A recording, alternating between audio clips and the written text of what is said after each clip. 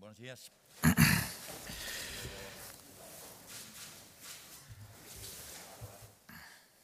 Comparecemos para dar cuenta de los acuerdos del Consejo de Gobierno de hoy, 16 de septiembre,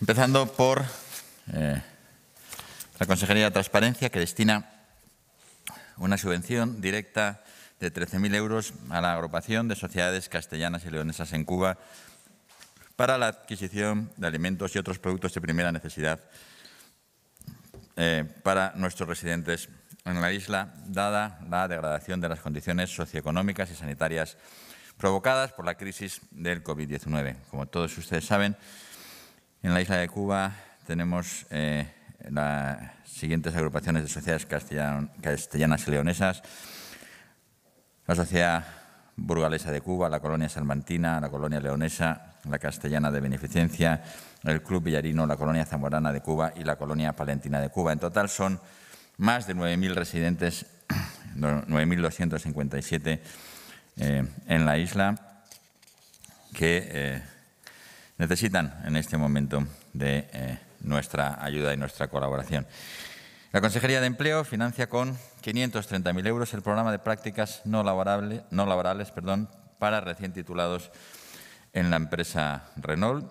Se trata eh, de una subvención que se hace a propuesta eh, de esta consejería que va a permitir que 20 titulados universitarios y 44 titulados de formación profesional reciban formación práctica a través de la figura de prácticas no laborales durante 10 y 14 meses respectivamente en esa empresa. Esto va a permitir mejorar la cualificación de nuestros jóvenes y mejorar sus oportunidades de empleabilidad.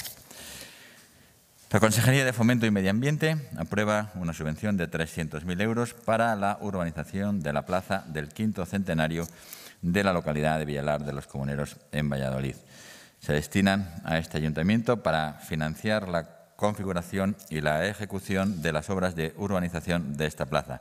Es una, eh, se trata de una remodelación y una urbanización de un gran espacio público multifuncional para que pueda disfrutarse como plaza, plaza pública y lugar de celebración de espectáculos al aire libre. La Consejería de Fomento también aprueba una subvención de 200.000 euros para la Asociación de Sociedades Gestoras de Enclaves Logísticos CILOG para su proyección eh, comercial. Se trata de eh, la gestión, la difusión de la marca, el mantenimiento eh, de la web y del foro, las asistencias a ferias de transporte y logística, y así como otras inversiones y actuaciones en estos enclaves logísticos. La Consejería de Fomento y Medio Ambiente destina también una subvención de 200.000 euros al Ayuntamiento de Martín Muñoz de las Posadas, en Segovia, para la urbanización de la travesía de la travesía, eh, que era el anterior tramo de carretera autonómica SC-SG11, para que tenga características y transitabilidad acordes a su actual carácter urbano. La Consejería de Agricultura, Ganadería y Desarrollo Rural destina 788.000 euros para acondicionar dos tramos de la infraestructura de regadío de la comunidad de regantes de Valdemudarra, en Valladolid. Estas obras van a permitir seguir utilizando esta infraestructura con normalidad en sus explotaciones. Se trata de realizar obras de adecuación de la tubería en la zona regable del río Duratón perteneciente a esta infraestructura. La superficie de regadío es de más de 1.400 hectáreas. La Consejería de Sanidad destina a la Gerencia de Asistencia Sanitaria de Zamora 15 millones de euros destinados a la limpieza de sus edificios, Dos millones y medio de euros para la instalación de salas clínicas en los centros asistenciales de las provincias de León y de Soria. Se trata de una sala de hemodinámica y tres de radiología digital y una sala de rayos multifunción. Además, se va a proceder a la contratación también de equipamiento necesario para llevar a cabo los procesos de retermalización y distribución de las comidas en el Hospital Santa Bárbara de Soria. La Consejería de Sanidad destina 2,3 millones eh, para lavar más de un millón de kilos de ropa al año en el Hospital eh, Clínico de Valladolid. Es un expediente por un importe, como he dicho, de 2,3 millones y con una vigencia de 32 meses para la licitación de este servicio de lavandería. Se destina 1,4 millones de euros para la contratación de suministros sanitarios para León y Valladolid. Los centros de atención primaria de la provincia de León van a recibir dispositivos de punción para atender a sus pacientes durante el periodo 2021-2022 y el Río Ortega eh, va a destinar a equipamiento para el abordaje de patologías quirúrgicas, neurológicas y nerviosas. 730.000 euros destina también la Consejería de Sanidad para la puesta en marcha de una sala de electrofisiología en el nuevo Hospital de Salamanca. Se completa con esto la dotación del servicio de cardiología en dicho centro. También se invierte más de medio millón de euros en procedimientos quirúrgicos para pacientes del Hospital Clínico Universitario de Valladolid. La Consejería de Educación destina 97 millones de euros a financiar la actividad del cuarto trimestre de nuestras universidades públicas. Son 10, 11 millones casi a la Universidad de Burgos, 16 millones a la Universidad de León, 34 a la Universidad de Salamanca y 35 a la Universidad de Valladolid. La Consejería de Educación destina también 198.000 euros para la gestión de los bancos de libros de texto de los centros concertados de nuestra comunidad. Se trata de un total de 168 centros y nueve seminarios para la gestión de eh, este banco de libros de texto y el material curricular derivado del programa eh, de gratuidad de libros conocido como Releo Plus para el curso 2021-2022. La Consejería de Educación destina también 145.000 euros para cofinanciar la contratación de 21 investigadores por parte de las universidades públicas de Castilla y León al amparo de las ayudas Beatriz Galindo. Esta iniciativa lo que busca es favorecer la captación de capital humano investigador que haya realizado su carrera profesional en el extranjero. Gracias a estas ayudas, la Universidad de Burgos puede contar con cinco investigadores más, la, de León con cuatro, la de Salamanca con siete y la de Valladolid con otros cinco. Esto se hace mediante un programa de cofinanciación en la contratación por parte de las universidades públicas. La aportación de la consejería asciende a 145.000 euros, es un 60%, que es la parte que corresponde a las universidades. El resto está aportado por la Administración del Estado. La Consejería de Cultura y Turismo destina 36.000 euros para la puesta en marcha de una plataforma eh, OTT que va a permitir a nuestras federaciones deportivas en nuestra comunidad disponer de un canal propio de gestión de contenidos digitales. Se pretende proporcionarles así un medio de comunicación digital completo y a medida de cada federación deportiva, integrando totalmente en su imagen corporativa y abarcando los tres pilares básicos de la comunicación, la televisión a la carta, eh, la radio y un diario digital a medida. Fuera eh, de los asuntos del orden del día. Se ha repasado la situación asistencial en este momento de la comunidad.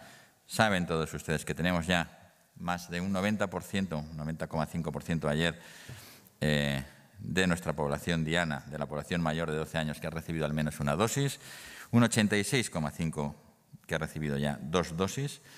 Se trata de unas tasas de inmunización prácticamente desconocidas, lideran eh, los porcentajes de inmunización en el ranking mundial prácticamente. Saben que nuestro país está colocado en los primeros puestos del ranking mundial y nuestra comunidad en este momento es la cuarta dentro de todas las comunidades, de las 19 comunidades eh, en el ranking de inmunización en nuestro país. Por tanto, eh, la situación inmunitaria eh, es muy favorable y nuestra incidencia acumulada ha caído hasta el puesto número 17, eh, tanto en incidencia a 14 días como a 7 días.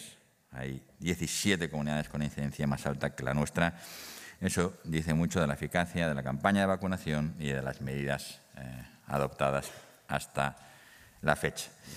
Eso es lo que nos lleva a tomar la decisión de en la próxima semana, el próximo martes, eh, abandonar el nivel 1 de alerta sanitaria y pasar a una situación que hemos denominado de riesgo controlado, en la que se van a mantener las medidas que vienen marcadas por la legislación estatal, el uso de mascarillas, la distancia de metro y medio, eh, y se va a pasar el plancal al nivel 1, del nivel 2 al nivel 1, lo que quiere decir que ya solo contaremos con los medios propios eh, de la comunidad o los privados de la comunidad si fuera necesario. Eh, y lo que viene a, a corroborar pues, la buena evolución de la pandemia en nuestra comunidad. No es eh, lo que se ha denominado la situación de nueva normalidad, es una situación que queremos que el nombre apropiado es de riesgo controlado, porque el riesgo no ha desaparecido, pero en este momento eh, podemos decir que está razonablemente eh, controlado. es una excelente noticia, eso va a permitir relajar los aforos en aquello que no depende de la normativa estatal y nos va a, permitir ir caminando hacia un escenario de vida progresivamente eh, normal. Se mantienen las guías de actuaciones en las residencias y el protocolo de educación, que también es un protocolo eh, a nivel estatal. Saben que además aquí contamos en todos nuestros centros con medidores de CO2 para asegurar la ventilación adecuada. Y en resumidas cuentas, eh, lo que queremos decir es, bueno, estamos ya cada vez más cerca eh, de poder emprender una vida completamente normal y una actividad económica completamente normal en los próximos eh, días, en las próximas semanas. Nada más y quedamos a su disposición para aquellas preguntas que nos quieran hacer. Buenos días. ¿Podría concretar, por favor, qué supone el abandono de nivel 1? Concretamente, bueno, ha hablado de relajación de aforos, pero si pudiera eh, explicitarlo un poco más. Vamos a publicarlo eh, en el acuerdo, insisto, que se va a publicar en los próximos días, pero lo que viene a suponer es que en, eh, todos los locales se suprime el aforo, la actividad vuelve a ser una actividad normal, tanto en comercial como la hostelería, salvo para el uso de mascarillas, la ventilación y la distancia de seguridad del metro y medio. Eso por resumirlo eh, eh, en breve. Se mantiene, insisto, como hemos dicho, en los colegios eh, y en las residencias los protocolos y las guías que están actualmente en vigor y el resto de medidas que dependen básicamente de las competiciones deportivas de alto nivel que dependen de la legislación y de la normativa estatal. Hola, buenos días. Eh, cuando se refiere a, locales, estamos hablando de locales no solo de hostelería, ¿no? Entiendo también, por ejemplo, que en recintos deportivos, cines, teatros. Todos los locales. Sí, y ha dicho que es una excelente noticia, que vamos encaminados eh, a emprender una vida normal eh, ¿Cree que esto se lograría más fácilmente con la tercera dosis de la que ya se está hablando, después de que esa incidencia se esté viendo en, vacunados con dos dosis? Bien, eh, saben que el asunto de la tercera dosis se está discutiendo en este momento eh, en, Salud Pública, en la, Comisión de, de Salud Pública del Interterritorial. Esperamos que se apruebe el uso de la tercera dosis para todo el grupo 7, el grupo de inmunodeprimidos y factores de riesgo, y también para eh, los mayores eh, institucionalizados en nuestras residencias. Eh, sí, no sé si esta medida de, del riesgo controlado coincide un poco con estas, este anuncio que ha hecho el Ministerio de Sanidad de que se va a relajar las medidas del semáforo. ¿Iría en esa línea?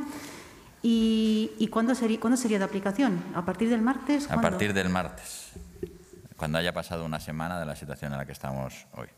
Eh, y efectivamente, nosotros tenemos em, que reevaluar eh, los niveles del semáforo en previsión de que se pudieran dar cambios en la incidencia acumulada y cambios eh, en los indicadores que se registran en ese semáforo, porque la situación actual, como todos ustedes saben, es muy diferente y la incidencia ya no tiene nada que ver con, con la gravedad. Eso depende del Consejo Interterritorial, que es una de las tareas que tiene pendientes, y cuando haya hecho esa tarea, nosotros naturalmente adaptaremos esa situación a la comunidad.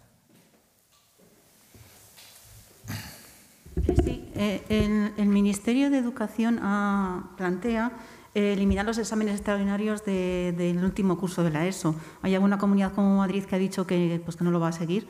No sé si Castilla y León esto lo ha visto, qué va a hacer, en todo caso. Castilla y León, en principio, va a intentar recurrir y evitar que esta medida eh, se adopte para el conjunto eh, de nuestro país. Entendemos que es un paso más en el mensaje equivocado de, relajación del Ministerio, de, intentar explicar a nuestros jóvenes que las cosas eh, se pueden alcanzar sin esfuerzo y nosotros creemos que eso no es un buen mensaje, no, creemos que es un buen mensaje a nivel educativo eh, y nosotros naturalmente dentro de nuestras competencias, dentro de nuestras competencias tomaremos las medidas que sean precisas para mantener el nivel de calidad de nuestro sistema educativo. Quiero recordar que el sistema educativo de esta comunidad es uno de los más potentes de nuestro país, como así lo indican nuestros resultados en PISA y en otros eh, rankings educativos. Por tanto, nuestra intención no es abandonar el camino de la excelencia para iniciar el camino que lleva a no sabemos dónde que propone el Ministerio. Sí, una pregunta más sobre el tema de la pandemia. Ustedes lo denominan situación de riesgo moderado. Controlado, controlado. Controlado, perdón. Eh, ¿Se trata de una cuestión de términos? Porque me imagino que las medidas establecidas por el Gobierno dentro de la nueva normalidad son las mismas que, han ustedes implantado en, esta situación de riesgo. Es una cuestión, Hay una cuestión terminológica y una cuestión de, eh, de medidas. Las medidas que a nosotros nos corresponden, sabe usted que hay un conjunto de medidas que nosotros tenemos que mantener porque son legislación estatal eh, y esas se mantienen porque, porque así corresponde, pero las que a nosotros nos corresponden eh, prácticamente eh, desaparecen. Y la cuestión es una cuestión terminológica, sí, porque no, no, es que nos guste mucho, a mí no me gusta mucho el término nueva normalidad, no, no me parece que refleja, no nos parece que refleja exactamente la situación porque eh, pudiera hacer pensar que no hay riesgo. Hay un riesgo que está controlado, que está controlado por la inmunización, que está controlado por las medidas sanitarias que nos permiten conocer la evolución de la incidencia y de la gravedad de la infección, pero no es una situación de riesgo cero ni es una situación enteramente normal. ¿eh? A, mí, no me gusta mucho el término nueva normalidad, tampoco personalmente. Sí, ha dicho, acaba de decir ahora mismo que las medidas que le corresponden a la Junta prácticamente desaparecen. No sé si nos puede concretar cuáles son las que permanecen, las que perdurarán a partir del martes. Las que les he dicho, van a perdurar el uso de la mascarilla, eh, la distancia interpersonal y aquellas que corresponden a las competiciones eh, de alto nivel y las eh, guías de actuación tanto en residencias como en nuestros centros de enseñanza. Quería preguntarle, eh, vicepresidente, en relación al anuncio realizado por la Consejería de Sanidad sobre eh, la asistencia médica en los pueblos. Eh, se ha hablado de que va a haber un médico para las, localidades de menos de 50 habitantes que se desplazará una vez a la semana. Y bueno, pues ahí la pregunta sería, ¿cuántas localidades de Castilla y León, de estas de menos de 50 habitantes, tienen problemas reales de cobertura? Más o menos, ¿cuántas? Pues no se lo puedo decir con exactitud. Creo, si le dijera una cifra, casi seguro que, me corregirían eh, en breve. No son muchas, pero le, le pasaremos eh, la cifra exacta para no dar una aproximación. Sí, sobre el asunto de, sanidad rural, eh, después de la PNL registrada ayer por Partido Popular y Ciudadanos de forma conjunta, tenemos que interpretar que se ha acabado el malentendido del que habló usted aquí hace una semana. Es una buena interpretación. ¿Y nos puede explicar cómo han llegado a eso?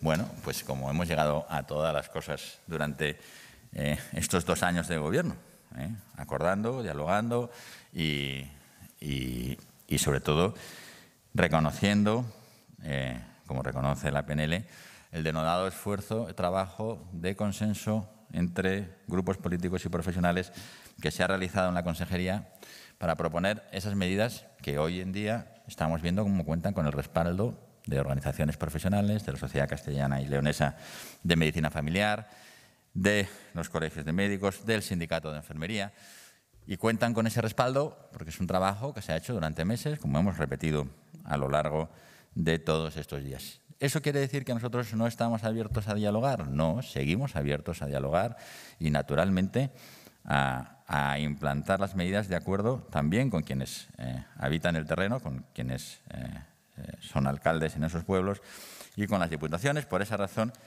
se había convocado una reunión con los presidentes de la Diputación y delegados territoriales, reunión convocada con anterioridad al debate de la PNL anterior. Por tanto, continuamos, seguimos avanzando, como dice esa PNL, seguimos avanzando eh, en ese camino de eh, refuerzo de nuestra atención primaria, en ese camino de mejora de la dotación de nuestra atención primaria, en ese eh, camino de adaptar nuestra atención primaria a las circunstancias en las que en este momento tenemos que, manejarnos. entre otras cosas, también a la pérdida de profesionales sanitarios eh, por eh, eh, la presencia de jubilaciones durante los próximos dos años. He de decirles, perdón, los próximos cinco años se van a perder 1.031 plazas de atención primaria del 2021 a 2025 y se van a formar 674 residentes. Saben que en la convocatoria de 2022 solicitamos 691 plazas, en 2018 se formaron 454 residentes en nuestra comunidad, es decir, es un incremento superior al 50% en cuatro años. Aún estamos pidiendo al Ministerio otras 61 plazas más para poder formar 35 especialistas más, 22 médicos de familia, especialistas en, familia eh, más y otros eh, cuatro eh, enfermeras. Queremos ir al tope de nuestra capacidad formativa pero aún yendo al tope de nuestra capacidad formativa, eh, la evolución, la demografía de nuestros profesionales es la que es. Por tanto, eh, es ineludible tomar decisiones de, readaptación ¿eh? y, eso es lo que se propone, eso es lo que se hace, que es actuar de acuerdo a nuestros recursos, nuestra capacidad para ofrecer la mejor asistencia sanitaria posible. Insisto que es un plan que va a contar con más de 1.200 profesionales más, con una inversión millonaria en eh, equipos de soporte vital, en eh, reforzar nuestra atención continuada, en reforzar también eh, nuestra dotación de personal de enfermería y, por tanto, está muy lejos de lo que algunos han definido como un recorte, sino más bien todo lo contrario. Se trata de un enorme esfuerzo de inversión y dotación para nuestra atención primaria. Volviendo al tema de las restricciones, nos ha dicho que va a mantener el protocolo que existe en, educación. Eso incluye, por tanto, me imagino, la mascarilla en el recreo. Eh, no sé si se plantea la Junta como anuncio, ah, eh, si seguían los contagios en esta evolución actual, eliminarla próximamente o de momento esa medida no se va a tocar. Bueno, vamos a seguir caminando paso a paso. ¿eh? Vamos a ver, depende mucho también, saben ustedes, que tenemos un porcentaje de la población infantil que no está vacunado. Son todos los menores de 12 años.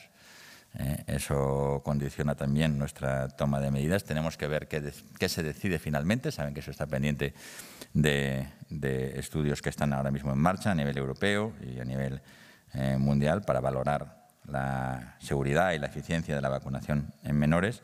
Hasta que esta decisión no se tome, eh, no es prudente anunciar una postura definitiva por nuestra parte. Sí, buenos días. Eh, yo le quería preguntar, eh, con estas decisiones que se están tomando con respecto a, aliviar algunas medidas, no sé si se puede hablar ya de que esos días de fiestas que, hubo en algunas ciudades, que ya se, han quedado atrás, si ya se descarta mm, casi por completo que pueda haber rebrotes. Y por otro lado, le quería preguntar también, volviendo al, asunto de la tercera dosis, eh, Castilla-La Mancha ha anunciado que, en tres semanas eh, podría empezar a vacunar a, personas institucionalizadas. Usted ha dicho que, están a la espera de lo que, se apruebe, pero bueno, me gustaría saber si, también manejan ya alguna fecha por el estilo para en ese momento, en cuanto se, apruebe, poder ponerlo en marcha. Gracias. Sí, bueno, Castilla-La Mancha está como nosotros, a la espera de que se apruebe. Nosotros no podemos eh, saltarnos, nadie puede saltarse el calendario vacunal, eh, ni los grupos que se vacunan ni los que no. Por tanto, hasta que esto no se decida, que esperamos, insisto, que se decida hoy, eh, no podemos dar una fecha. Entre otras cosas, porque otra de las cosas que está pendiente de decidirse es si esto se puede hacer a la vez que la campaña de vacunación de la gripe, lo cual condicionaría nuestra logística. Es fácil de entender que si nosotros podemos eh, hacerlo en una sola campaña, es bastante mejor que hacerlo en dos, porque si tenemos que montar dos campañas de vacunación, eh, el gasto en recursos y en personal, sobre todo, que es lo que más nos condiciona, sería, sería doble. Entonces, estamos a la espera de que Salud Pública, a nivel nacional, eh, emita una posición sobre si esto es o no es posible, porque en cuyo caso deberíamos de esperar al suministro de las dosis de vacuna de la gripe para hacerlo en una sola campaña. Con respecto a las fiestas, ya se lo dije la semana pasada, eh, ha habido periodos de fiestas durante todo el verano, probablemente el periodo de fiestas más intenso en la comunidad es el 15 de agosto, es el entorno del 15 de agosto, que es donde más fiestas populares se acumulan. Han pasado ya más de un mes desde ese 15 de agosto y el impacto que hemos visto es escaso. Es verdad que hay algunas grandes capitales en las cuales no ha pasado ese tiempo, pero lo que hemos visto en el conjunto, en los indicadores del conjunto, no nos hacen sospechar que vayamos a tener un efecto adverso significativo, no digo ninguno, digo significativo, eh, eh, con eh, las fiestas de los últimos días. Sí, volviendo a la sanidad rural, ha dicho que ya se ha aclarado el malentendido. No sé si con esto se despejan las dudas apuntadas en los últimos días sobre un posible adelanto electoral. Y también me gustaría saber qué tiene usted que decir a aquellos que han augurado, después de que se aprobara esta PNL, que, no llegaría a Navidad como vicepresidente de la Junta. Lo que han dicho literalmente es que no me iba a comer el turrón, pero es que tampoco me lo comí el año pasado, es lo que tiene la diabetes. Eh, este año tampoco me lo voy a comer. Eh, y, con respecto a, la situación del adelanto electoral, no tengo más que repetir las palabras del presidente y las mías a lo largo de todos estos días. Hay un acuerdo estable, eh, hay un acuerdo que se está cumpliendo y nosotros somos gente de palabra. Creo que lo hemos demostrado hasta la saciedad. y creo que en estos días también hemos demostrado que somos gente seria, que evita el conflicto innecesario y que lo que pretendemos es dar a nuestros ciudadanos estabilidad y gobierno, que es lo que nuestros ciudadanos se merecen en una situación como esta. Por tanto, solo insistir en las palabras del presidente. No contemplamos esta posibilidad. Sí, lo, de, que coincida la campaña de vacunación con lo de la gripe es una petición de Castilla y León, lo han hecho más autonomías. Me gustaría saber también dónde está en este momento la reunión con Tudanca. No sé si han contestado ya la consejera o ante las peticiones para que se celebre que pide el líder del PSOE la dan por imposible. Y luego me gustaría saber también eh, para cuándo las 35 horas en el empleo público, que ayer parece que se quedaron ahí un poco en el aire. Gracias. Bueno, yo, no, puedo contestar más allá de lo que contestó ayer el consejero de Presidencia. Es que ha comparecido ayer eh, durante dos horas eh, y este ha sido uno de los temas principales y yo me tengo que remitir a sus palabras. Sobre el asunto de la gripe. Eh, es una mm, petición eh, de varias comunidades autónomas. No es que sea una petición, es decir, es una eh, es algo lógico saber si esto se puede hacer o no, porque desde el punto de vista, insisto, de la logística y también para los propios pacientes es bastante más fácil hacerlo de una vez que hacerlo de dos veces. Pero eso, insisto, no, no se trata de una cosa que se vaya a votar, se trata de analizar los estudios que hay en este momento y de que Salud Pública nos dé una indicación. Sobre la posible reunión con el señor Tudanka. Bueno, pues eso, es algo que algunos nos temíamos desde el inicio, que nunca iba a suceder. ¿eh? Porque lo que no tiene un Partido Socialista es propuestas. Yo ya le he dicho muchas veces eh, que yo creo que lo que deberían, lo que merecen los ciudadanos, ¿eh? Es que si hay propuestas alternativas haya un debate público eh, y haya un debate público al que los ciudadanos puedan asistir eh, a través de ustedes, que son los medios de comunicación. Y yo creo que sería un buen momento para que en cualquier medio de comunicación eh, alguien organizase un debate sobre las políticas sanitarias y la atención primaria entre quienes representan las diferentes opciones porque quizás eh, sería una manera de que los ciudadanos entendiesen qué es lo que pasa y qué es lo que propone cada uno. Yo siempre he entendido así la política. ¿eh? Yo siempre he entendido que lo más importante en la política era el debate y las propuestas. Hay quien entiende que en la política lo importante es la descalificación.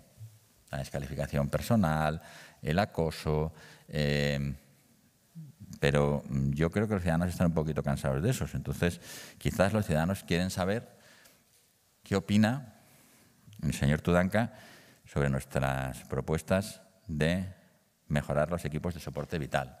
¿Qué opina el señor Tudanca sobre nuestras propuestas de mejorar y potenciar al personal de enfermería en las labores de cuidados en atención primaria? ¿Qué opina el señor Tudanca sobre nuestras apuestas de dotación de medios materiales para el transporte eh, sanitario? ¿Qué opina el señor Tudanca sobre la cita previa eh, o sobre el ratito? Es lo único concreto que le he oído yo al señor Tudanca en estos días, que la gente tendría que ir un ratito. Como propuesta de atención primaria creo que es un poco incompleta. ¿eh? Qué opina sobre nuestra dotación? ¿Qué opina sobre muchas cosas que, son el eje de nuestras propuestas de eh, potenciación de nuestra atención primaria? Dotación de personal, tipo de personal, frecuentación, distancias, cronogramas, soporte vital, capacidad de resolución, división de tareas, eso es una propuesta de atención primaria. Y lo otro, lo que hemos visto estos días, pues es lo mismo de siempre. ¿eh? Lo mismo de siempre, que es demagogia, vaguedades y luego, y lamento decirlo otra vez, pero, pero es así, una tremenda cobardía por quien debería de representar la alternativa. ¿eh? Y lo que no puede tener eh, esta comunidad es un líder que representa la alternativa, que es lo más necesario en la democracia, que es que haya alternativas, que es incapaz, incapaz, incapaz de sentarse delante de los ciudadanos y confrontar sus ideas eh, con, quien está en este momento en el gobierno. Yo sigo invitándole al señor Tudanca a que en privado, en público, donde quiera, eh, él, su portavoz sanitario, el señor Moreno, quien sea, ¿eh? quien lleve las propuestas sanitarias del Partido Socialista, explica a los ciudadanos, no a nosotros, ¿eh? a los ciudadanos, qué es lo que propone y las confronte con la realidad de los datos, con la realidad ¿eh? de los números y las confronte con las propuestas que nosotros hacemos. Eso es hacer democracia, eso es hacer política de calidad. Y lo otro, pues es lo mismo de siempre, ¿no? que yo creo que que los ciudadanos ya lo, han percibido bien. ¿no? Hay muchos comentarios estos días en distintos medios de comunicación. El señor Tudanca nos pidió eh, una cosa que íbamos a hacer en cualquier caso, que era, cuando la situación epidemiológica lo permitiese, reabrir la actividad normal de nuestros centros. Se ha hecho así, pero también se ha hecho así en Galicia hoy o ayer. Yo creo que la voz de Galicia es hoy o ayer cuando anuncia la vuelta a la normalidad y a la presencialidad de los centros. Y no es porque el señor Tudanca haya ganado una votación en Galicia, ¿eh? es porque la situación epidemiológica en el conjunto del país ha mejorado. Y lo mismo se hace aquí, se hace en Castilla-La Mancha y se hace en otros centros, en otras comunidades. Y insisto, nosotros esperamos, esperamos y yo espero que, el Partido Socialista en esta comunidad alguna vez ofrezca política adulta a nuestros ciudadanos y debate racional, y no solo descalificación, insultos o gracietas. Estamos esperando. Sí, en otros años la campaña de vacunación con la gripe ha comenzado en la primera quincena de octubre. ¿Serían las fechas que manejarían ustedes para este año también? Por, hacerlo. Si tenemos los suministros. El problema es un problema de cuándo llegan los suministros de la campaña de la gripe. Sabe que la campaña de la gripe se retrasa, vamos, se retrasa. Empiezan esas fechas porque necesitas analizar en todos los centros de vigilancia que hay en el mundo de la gripe qué variantes son las que están predominando para elaborar esa vacuna. No es, es un problema de logística de fabricación, es un problema de que hay un tiempo para saber qué variantes hay en el mundo circulando de la gripe para elaborar la vacuna que corresponde a ese año. Y en nuestro, desde nuestro punto de vista sería ideal poder hacer las dos cosas a la vez ya le digo, tanto por nuestra logística como por el eh, bienestar de nuestros ciudadanos. Sí, por Ávila ha reconocido que ya se han producido contactos informales con, ciudadanos. Me gustaría saber en qué clima se ha producido esa, esas primeras conversaciones, si van encaminadas a la estabilidad parlamentaria que ustedes necesitan eh, como Gobierno y si les han pedido algún cargo político del Partido Popular a cambio de, em, bueno, pues de, apoyarles y de garantizar esa estabilidad. Gracias.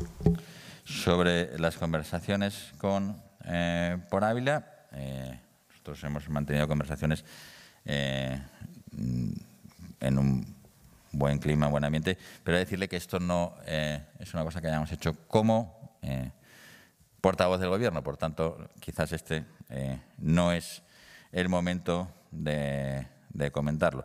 Pero yo creo que no se trata de lo que necesitamos nosotros o no.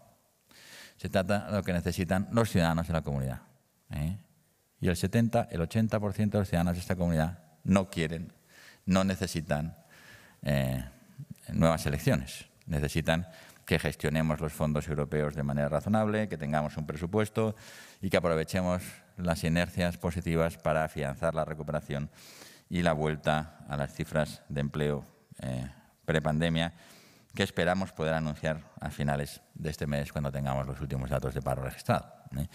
Entonces, en principio, eh, el clima es bueno.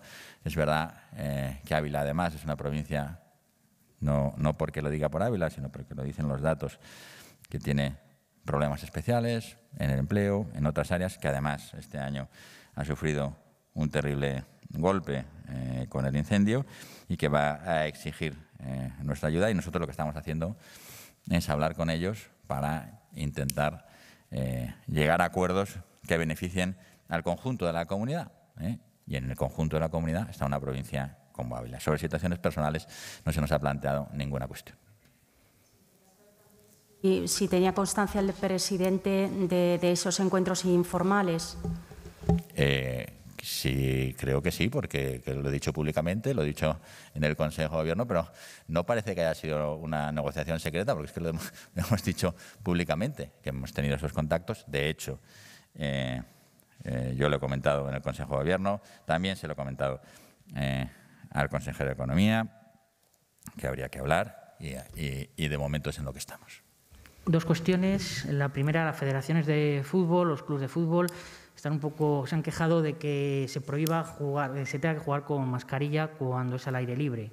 No sé qué, qué planteamiento hay. Y la segunda, volviendo a la PNL, me gustaría saber si en ella ha habido contacto o qué, posición ha mantenido la consejera Verónica Casado y si hay alguna idea de cómo será esta nueva reorganización ya. Eh, si le importa precisarme un poco mejor la segunda pregunta, porque no acabo de, entender la pregunta. Si en esta PNL ha participado la consejera de Sanidad. Claro, sí. Y la segunda, si ya se sabe un poco cómo sería la reorganización, de, cómo quedaría todo. Bien, eh, es evidente. Nosotros siempre que presentamos una PNL, eh, los partidos del Gobierno, eh, no se presenta una PNL sin contar con la consejería a la que corresponda el tema. Eso es una costumbre bastante racional, que los partidos del Gobierno no presenten PNLs sobre asuntos de Gobierno sin consultar a las consejerías. Y de hecho, así ha sido y así es siempre. ¿eh? sobre si se sabe cómo se va a quedar. Saben muchas cosas, pero, las, sabe, las saben ustedes también, como las saben eh, eh, el sindicato de enfermería, como las saben los profesionales sanitarios.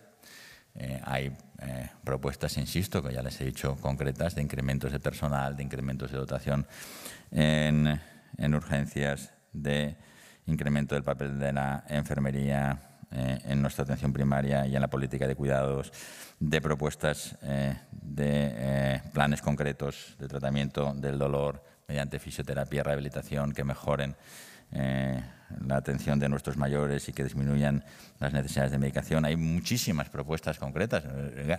Llevamos dos años trabajando con este asunto. Claro, claro que sabemos muchísimas cosas. Lo que va a costar, qué presupuesto, cuánto personal administrativo, a ver si, que decir que, llevamos dos años trabajando. ¿eh? Hay, mucho trabajo, mucho trabajo hecho.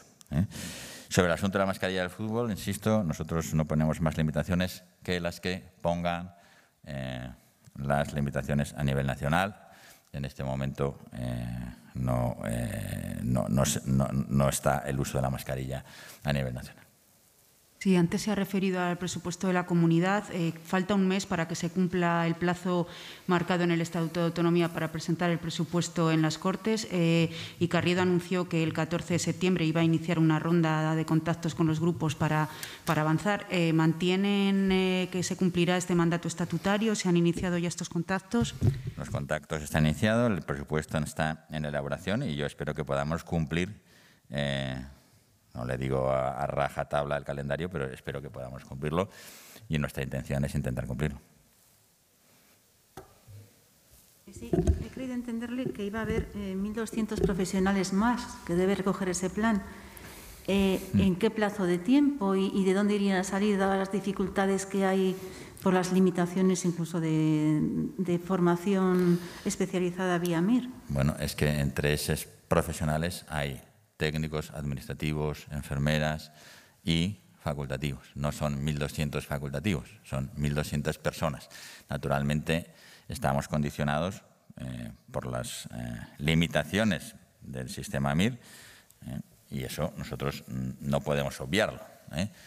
Pero insisto, eso no quiere decir que no haya un incremento en el conjunto del personal y en el conjunto de la inversión, que supera ya el 20% de nuestro presupuesto sanitario. Decirles que este era uno de los objetivos eh, de muchos partidos, prácticamente eh, eh, de la inmensa mayoría, cuando estábamos por debajo del 14%, en España estamos alrededor del 13% de gasto sanitario o menos, dependiendo de las comunidades, nosotros estamos ya en el 20% de gasto sanitario dedicado a atención primaria.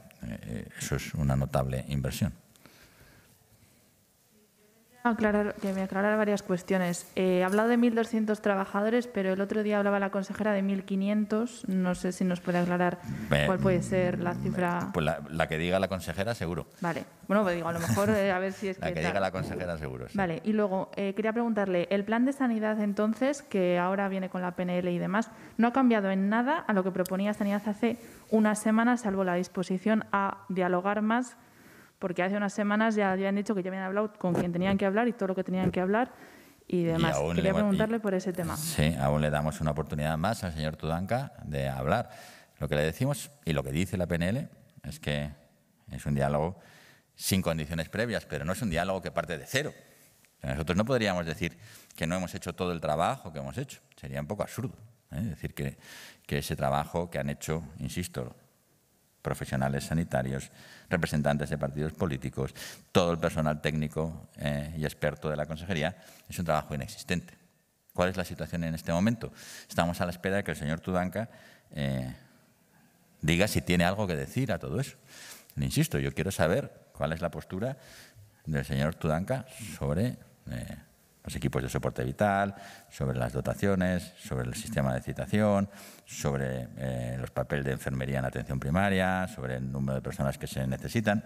Y eso es lo que estamos esperando. No, no ha cambiado mucho más que eso y reiterar nuestra disposición al diálogo. Ha cambiado la vuelta a la completa normalidad de nuestros centros sanitarios, que siempre dijimos estaría condicionada por la situación epidemiológica. Hoy estamos anunciando eh, el paso a una situación de riesgo controlado, el fin del nivel 1. Por tanto, estamos cumpliendo con nuestra palabra y con los plazos dados, pero si esa era una necesidad, eh, un requerimiento por parte del señor Tudanca, eso ya está ahí. Si a él le hace ilusión darse golpes en el pecho y decir que es una cosa que ha conseguido él, pues tampoco nos importa. Yo, si esto le produce felicidad, a mí tampoco me preocupa mucho que se lo atribuya, pero sí que pido, por favor, oiga, si está tan contento, pues siéntese, ¿no? Si ha conseguido algo, pues siéntese, y si no ha conseguido nada, pues igual es que la proposición era inútil, pero yo creo que lo que necesitan los ciudadanos es acabar con esta esta guerra un poco infantil, insisto, ¿eh? y decir, siéntense ustedes y, cuenten qué es lo que quieren hacer, ¿no? Y qué es lo que les gusta, y qué es lo que no les gusta, y qué es lo que proponen. Eso es lo que esperan los ciudadanos de nosotros y no dos semanas más de descalificaciones. Sí, pero del plan de sanidad, eh, ¿hay algún cambio mm, real de cara al ciudadano, de cara al, al, facultativo, al sanitario? ¿O es exactamente el mismo plan que provocó toda la, toda la revolución que hubo, que hubo hace unas semanas? Eh, es que, le insisto, no sé cómo explicar esto, voy, a, voy a intentarlo. La estrategia de atención primaria, que no el plan, la estrategia de atención primaria, eh, pasaba por una serie de fases. La primera, un estudio de expertos, con una serie de propuestas. Esto es lo que se hizo en su momento.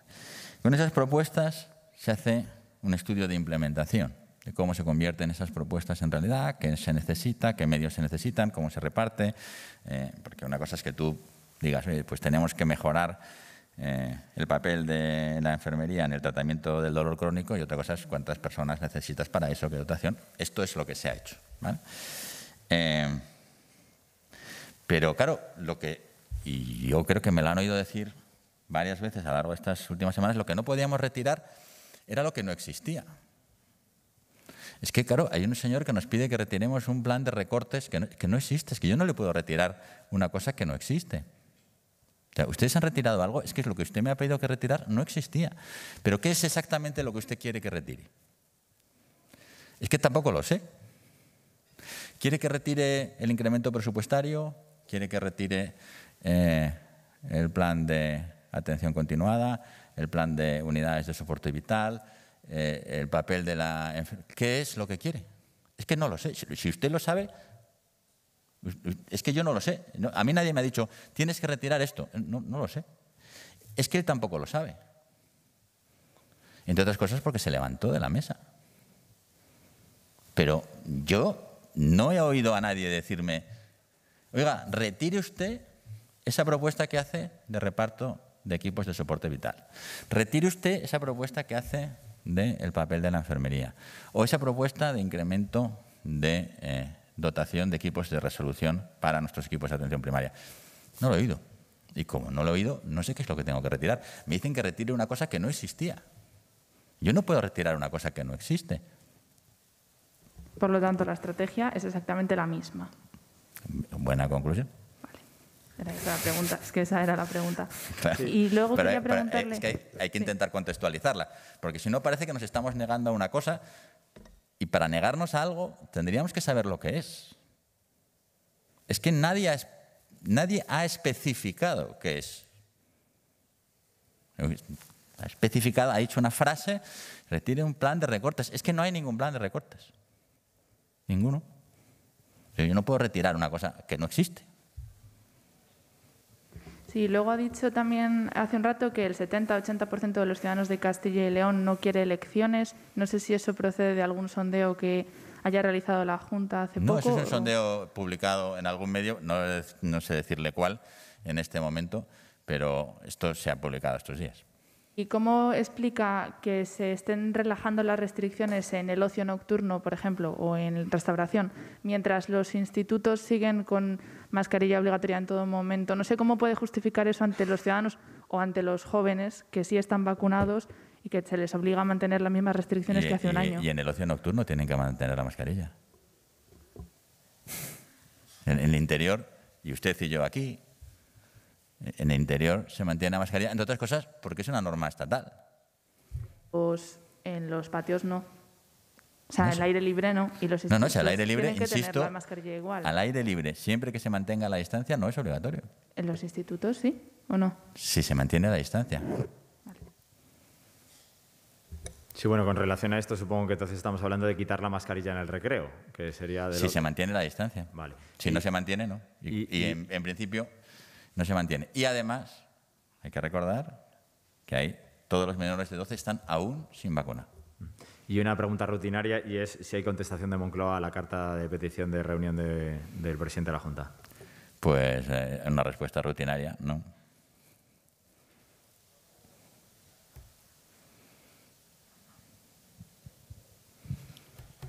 Pues Creo que ha llegado el momento de abrir un turno de preguntas con los periodistas que nos siguen por videoconferencia, así que vamos a iniciarlo con Sergio García de Soria Noticias. Adelante, Sergio.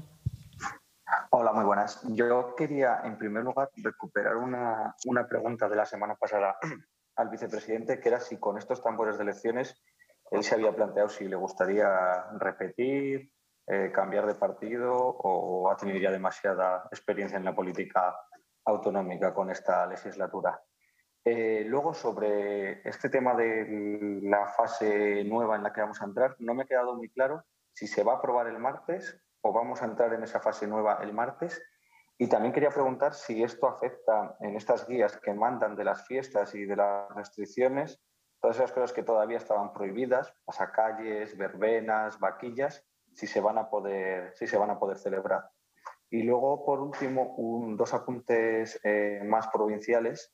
Eh, el primero tenía que ver con, con, el PEMA. Se dijo desde la Diputación de Soria que había una empresa interesada en, en instalarse en el, en el PEME, que sería la junta en la que diera eh, la noticia oportuna. Entonces, yo no sé si, supongo que es difícil porque no se ha hablado, no se ha hablado en el Consejo de Gobierno, pero bueno, por si acaso. Y ya la última, y perdón por, por extenderme, ayer el, eh, el PSOE de, en Soria criticaba que de los 95 millones anunciados para las residencias, solo uno va a llegar a, Soria, para ese nuevo modelo que se quiere implantar y para reformar y construir nuevas residencias en Castilla y León, entonces, bueno, preguntar si hay respuesta al, Partido Socialista en Soria.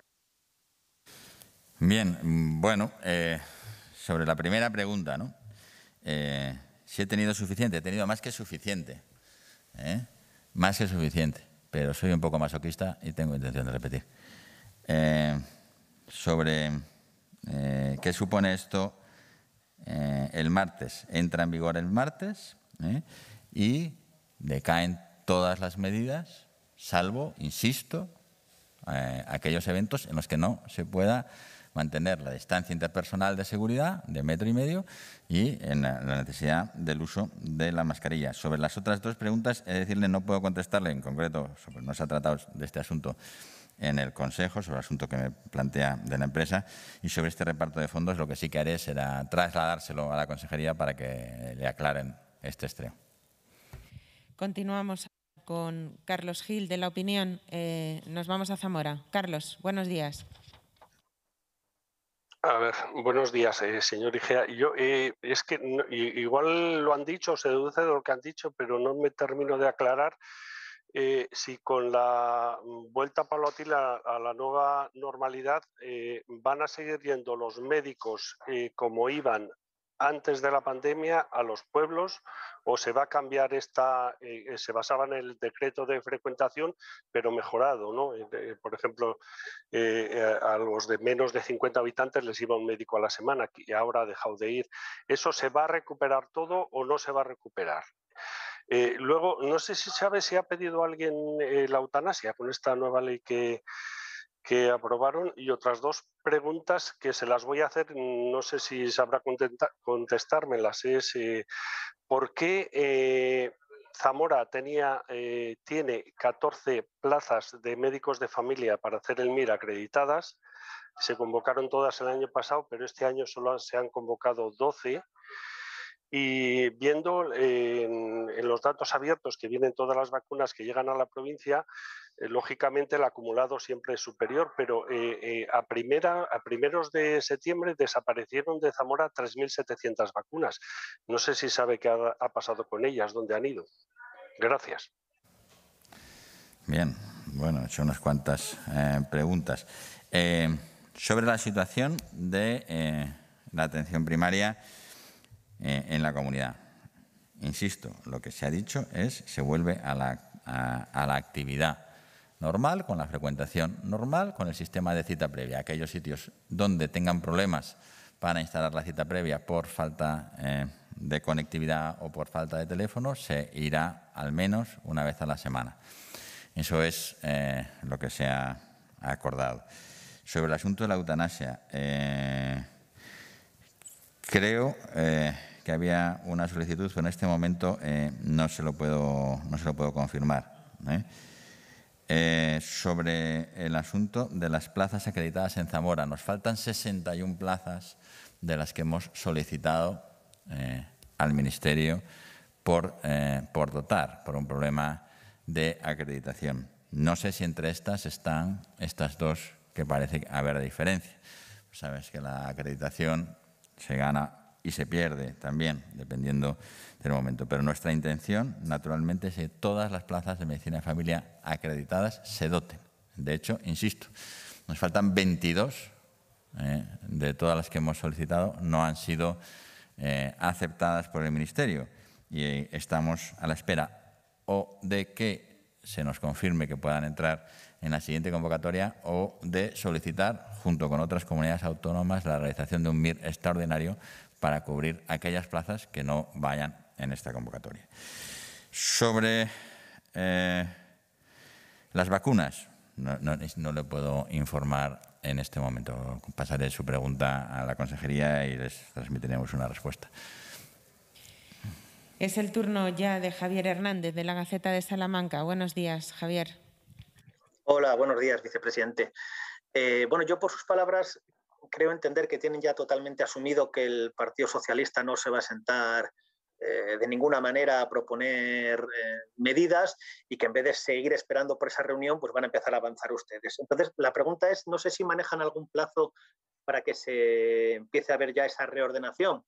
No me refiero a la reapertura de los centros o de la presencialidad, que eso iba a suceder, como usted ha dicho, en función de la pandemia, sino a esa reordenación de, de cupos o de zonas de salud si más o menos manejan alguna fecha en la que ya quieren empezar a aplicarlo. Muchas gracias.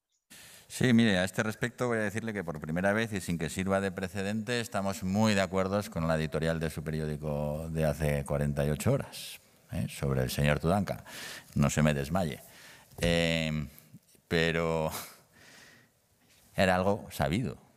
Es decir, eh, cualquiera que haya seguido la política regional estos dos últimos años sabe dónde está instalado el señor Tudanca y dónde está instalado el Partido Socialista, que no es en la propuesta. ¿eh? No, a mí no me ha sorprendido. ¿eh? A mí no me ha sorprendido. Yo reconozco eh, el esfuerzo del presidente de generosidad de darle una nueva oportunidad. Y yo creo que eso es un esfuerzo por parte del presidente que es digno de agradecer, pero lamentablemente eh, los hechos son bastante tercos y bueno, pues, siempre volvemos al mismo sitio, es la condición de cada uno. ¿Y cuándo vamos a empezar? Nosotros ya hemos empezado y seguimos. Esta semana habrá reuniones con los presidentes de las diputaciones de cada gerente de área. De área. En las próximas dos semanas esperamos que todos los gerentes de área eh, se hayan podido reunir con los presidentes de las diputaciones, los delegados territoriales, para ir viendo poco a poco eh, las medidas que son necesarias implementar en primer plano. Eh, esto nunca, es decir, que no se ha parado, no se pararon las reuniones con los presidentes de diputaciones, no se pararon las reuniones con los representantes de los profesionales. Nosotros seguimos trabajando ¿eh? y, seguimos esperando al señor Tudank. Pero me temo que por una vez, y sin que sirva de precedente, van a tener ustedes toda la razón. Pues vamos a cerrar este capítulo de preguntas con nuestro compañero Carlos Domínguez de ILEON. Adelante, Carlos. Hola, muy buenos días. Eh, yo quería hacer, eh, si puede ser, tres preguntas. Una de ellas acaba de conocer eh, el contenido de un informe. Un segundo, por favor. Un informe de inversión social por comunidades que ha realizado la Asociación de Directores Generales y Gerentes de Servicios Sociales de España que sitúa Castilla y León entre, entre las comunidades, junto con Madrid y Baleares, con el menor ingreso del gasto social durante la pandemia. Y en concreto en el gasto sanitario, identifica Castilla y León como la única comunidad que fue en negativo, que ni siquiera tuvo incrementos en esas inversiones. Quería saber si conoce este, este, este informe, si coincide con los datos de la Junta de Castilla y León y en todo caso cómo lo valora. Y al respecto de la capacidad formativa de la que se ha hablado un poco a lo largo de la, rueda de prensa, en este caso de médicos, eh, bueno, quería conocer si habría un planteamiento en esta situación excepcional favorable, ahora sí, a la puesta en marcha de una posible facultad de medicina en la Universidad de León, que se barajó hace muchos años, se pasó a descartar posteriormente y quizá podría eh, darse el caldo de cultivo ahora para poder volver a valorar el incremento de la capacidad formativa para los médicos en, Castilla y León. Y por último, también respecto a la conectividad, sobre todo vinculada a los, consultorios rurales, Eh, no sé si hay alguna modificación en todas estas idas y venidas que ha habido de planes, estrategias, PNLs respecto a la implantación de la fibra óptica para dar atención sanitaria y que, según nos había contado la consejera, se iba a vincular a los médicos, a los facultativos que deben acudir a esas consultas rurales, más que a los propios consultorios, a pesar de que en esos mismos pueblos la fibra óptica sí que parece estar o poder llegar a los centros de, educación, ya que la Consejería de Fomento sí está desarrollando un plan para que esa fibra óptica llegue a los colegios, sí, parece ser que a los consultorios no era posible. No sé si se mantiene que sea el médico el que esté conectado a Internet y no el centro, el centro sanitario de los pueblos. Gracias.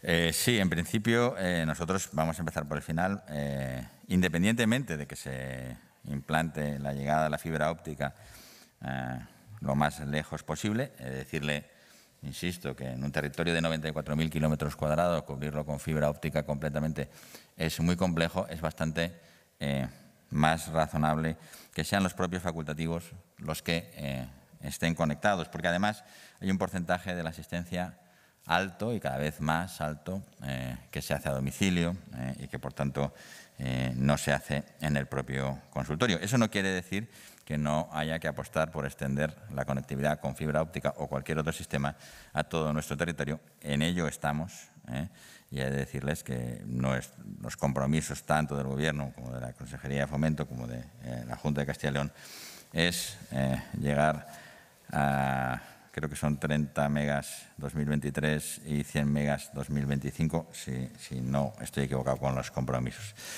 Eh, sobre el asunto del informe, no, lo conozco, no tengo por costumbre opinar de los informes sin leerlos. Me va a perdonar eh, que me tome tiempo para leerlo la semana que viene. Eh, podemos volver sobre ello. sobre el asunto de la Facultad de Medicina. Eh, este es un asunto que tiene que ver eh, no solo con nuestra capacidad eh, de formar estudiantes de medicina, sino de formar especialistas. Mientras tengamos una bolsa de estudiantes o de licenciados sin formación, no hacemos nada incrementando la bolsa de estudiantes sin formación si no le damos salida. Por tanto, lo primero eh, que hay que hacer es darle salida mediante la formación especializada, asegurar que todos nuestros médicos especialistas, que todos nuestros licenciados en medicina tienen la capacidad de formarse como médicos especialistas, ¿eh? porque si no, lo único que haríamos sería aumentar la bolsa de quienes no pueden trabajar porque no tienen eh, el título especialista. Por otra parte, nuestra capacidad en el conjunto de la comunidad de formar estudiantes de medicina no se ve reflejada posteriormente en el número de médicos de, eh, con origen en la comunidad, pero ya sabe por qué es.